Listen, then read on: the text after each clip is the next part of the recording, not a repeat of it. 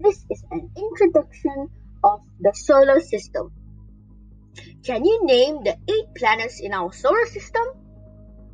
Well, the solar system contains of eight planets: Mercury, Venus, Earth, Mars, Jupiter, Saturn, Uranus, and Neptune.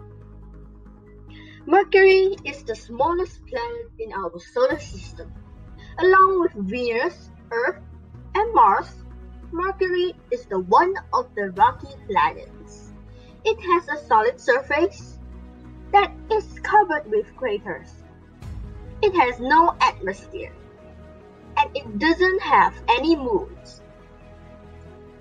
Venus is the second planet from the Sun and is Earth's closest neighbor in the solar system.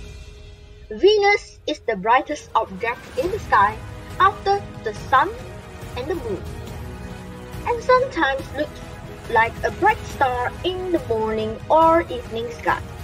The planet is a little smaller than Earth and is similar to Earth in size. Earth, our home planet, is a world unlike any other. The third planet from the Sun, Earth is the only place in the known universe confirmed to life. With a radius of 3,959 miles, Earth is the fifth largest planet in our solar system. Mars is sometimes called as the red planet. It's red because of rusty iron on the ground. Like Earth, Mars has seasons, polar ice caps, volcanoes, canyons, and weather. Jupiter is the fifth planet from the Sun and the largest in the solar system. It's a gas giant with a mass one thousandth that of the Sun. But Saturn is a gas giant made up mostly of hydrogen and helium. Saturn's volume is greater than 760 Earths, and it is the second most massive planet in the solar system.